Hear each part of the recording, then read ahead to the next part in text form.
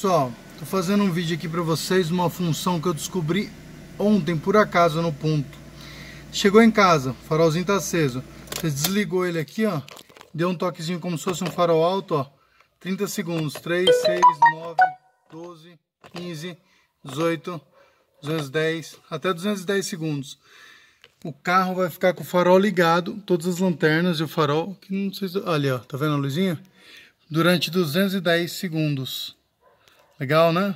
Não sabia disso, garanto que muita gente também não sabia. Se achou legal, deixa um like aí, se inscreve no canal e testa no seu. Apagou o painel, mas a luzinha continua acesa lá na frente. Vai ficar por 210 segundos, ou 30, ou 60, 90, beleza?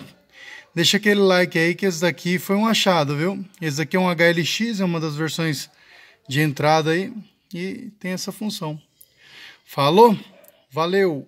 Se inscreve no canal aí para mais vídeos.